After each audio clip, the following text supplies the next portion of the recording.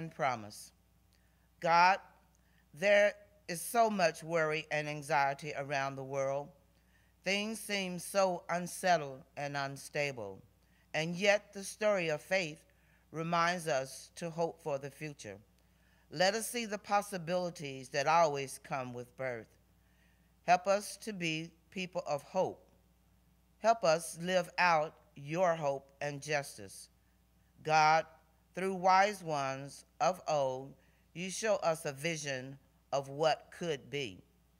Through mystics and prophets of today, you challenge our vision of the present. Remind us of that vision of peace and justice. Empower us to live as if we believe it was really possible. God, today there are many who wonder where their next meal will come from. Today there are many who look for work and income. Today there are many who look for meaning in the face of life's disappointment. God, centuries later, we hear again the promise of Dame Julian that all will be well, all manner of things be well. And part of us finds it to be unbelievable that such a promise could be true. When you, our despair grows and the shadow threatens to overcome the light, remind us that we are people of hope. When we are tempted to find relief from the present and trying to recreate the past. Call us to be people of the future. When life's music has faded or become a funeral dirge, teach us to sing your praise, O God. Teach us to sing with notes formed by hopes and acts of justice. Teach us to sing with harmonies shaped by mercy's wide embrace. May all the earth join the chorus and dance to your beating heart.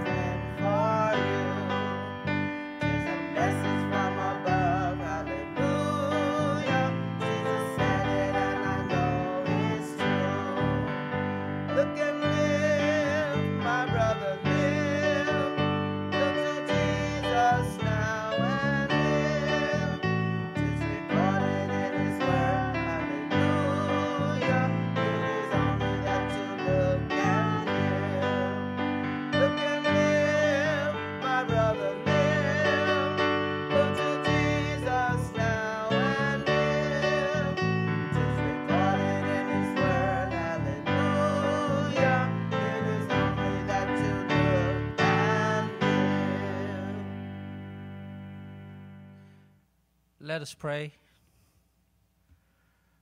God of our weary years, God of our silent tears, God who has brought us this far along the way. It's once again that we come thanking you for this great day that you have made. We are choosing to rejoice and be glad in it, allowing us to see the last day of the first month of 2021. We are grateful for your mercies. Your compassions are new every morning, and your faithfulness is great to us. We thank you, God, that we celebrate not only the mission of New Bethel today, but the mission of your Christ to the world. In the day of age, of sorrow, grief, despair, uncertainties, and distrust, We trust in your word because your word is the same, it changes not. Though the flower fades and the grass withers, your word stays the same. We thank you, God, for your word being our guiding spirit, the way instructing us in the paths of righteousness. We pray, God, that as we go forth through the rest of this new month of February, honoring our ancestors and honoring those who served you before us, we ask, God, that you be merciful to us. We pray for those who are suffering, for those who are in need of comfort because of the loss of loved ones, for those who are in need of a touch from you, healing, power, whatever it may be. We thank you, Father, for your love never fails. Bless us in this time together. Bless us in our worship experience. We ask this in your Son's name. Amen. I will read the scripture. And the scripture will be 2 Corinthians chapter 12, verse 9 through 10. And he has said to me, My grace is sufficient for you, for power is perfected in weakness. Most gladness, therefore, I would rather boast about my weakness, so that the power of Christ may dwell in me.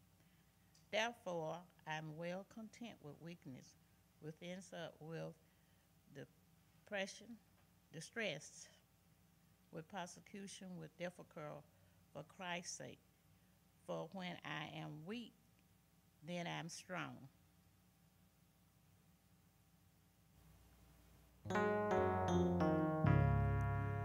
I don't feel no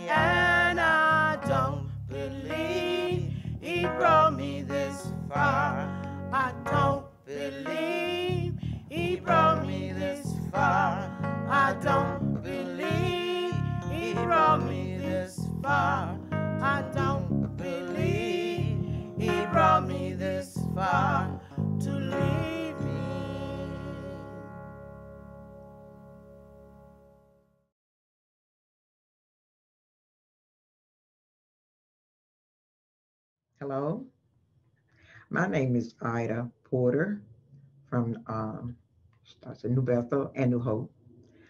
Uh, I was asked a question, and I will read it to you just in case I make a mistake. How can you find hope in a difficult time? Okay, for me, how I find hope for a difficult time is when we had uh, all of this bad, whatever's going on in the world. I get up in the morning being thankful to wake up, number one. And when I open my window, and the sun comes in and I see the bright sunshine, I know God is on my side. That's what makes me so happy. Then I can go back if I want to and lay back down in my bed and thank God for the bed He gave me was rest so well. And I'm just thankful right now to be able to share that with you. And I hope it will help someone that uh, may be having a difficult time in this time. So I thank you for your time. And this is what my answer. So I have a question for you then. So how would you um, give advice to someone else who's having trouble during these difficult times? The, what, what I would say, it doesn't work for everyone. Okay. Because um, when I look out and see a new day, and whether the sun is shining or whether it's raining, I'm thanking God for bringing me from last night to this morning. So it just makes me happy to know that uh, He is the one that caused me to be here. So if you got any doubt, talk to God about it. That's the advice I give. The year 2020, one for the ages. I think it's safe to say it's not on a list of a very good year. The family that prays together stays together. In this ever changing world we live in, it is good to always have a little talk with Jesus. As a family, there are questions. We are searching for answers. What do we tell our children, family, and friends? Jesus is the same yesterday, today, and forever. My good friend Diane Christine Milton wrote this Q&A session titled Be Encouraged to Face the Future.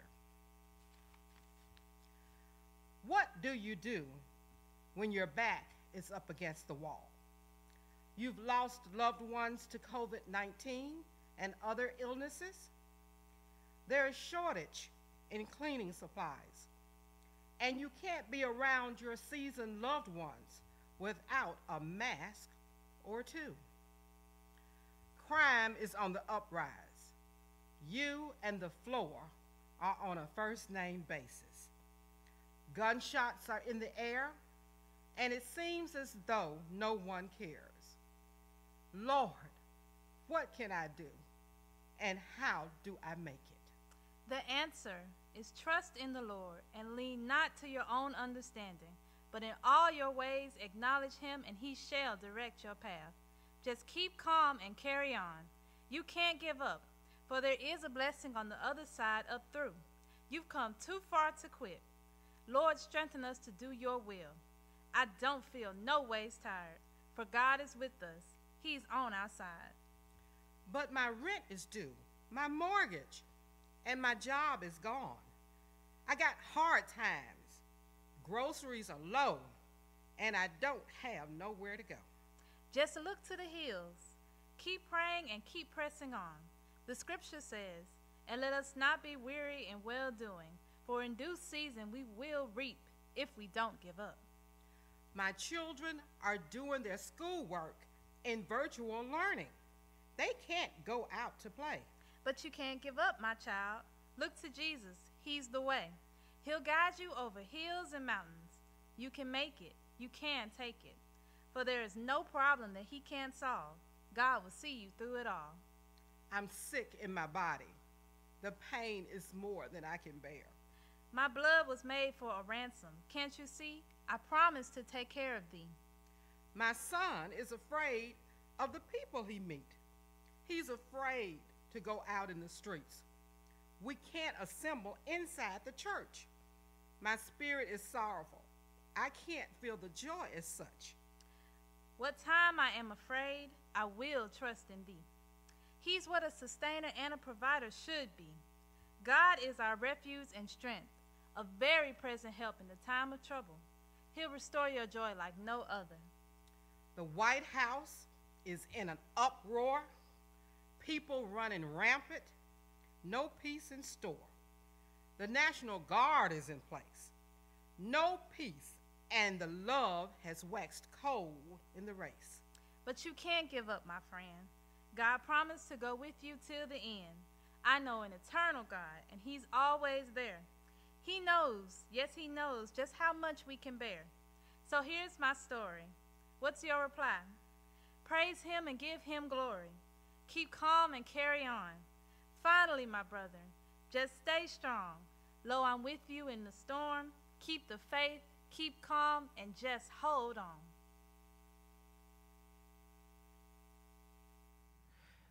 What you've seen in our presentation today is a display of how we can get hope in the midst of all that we're experiencing today. We're experiencing challenging times, but I stand to extend the invitation of Christian discipleship to those who may be in the midst of despair, discouragement, and any other thing, any other element of life. The answer is in Jesus Christ. So I extend the invitation of Christian discipleship to you. The gospel message is that Jesus Christ came, he died, he rose again from the dead, and that he will bring salvation to you. Um, if you are in need of salvation, simply confess with your mouth and believe in your heart that God raised Jesus Christ from the dead, and you shall be saved. If you made that confession and you're looking for a home to fellowship with, we invite you to join New Bethel. Come and worship with us. Even though we're worshiping virtually, you're still able to worship with us in a virtual uh, worship experience. And we thank you for those of you who have uh, accepted Christ and those of you who thought it not robbery to join our fellowship. We thank you so much. Thank you for joining us during our Sunday mission service. Thanks to all our participants and musicians as well. We know that during these difficult times, our pathways are different, but may God continue to lead you and guide you and protect you along the way. Thank you.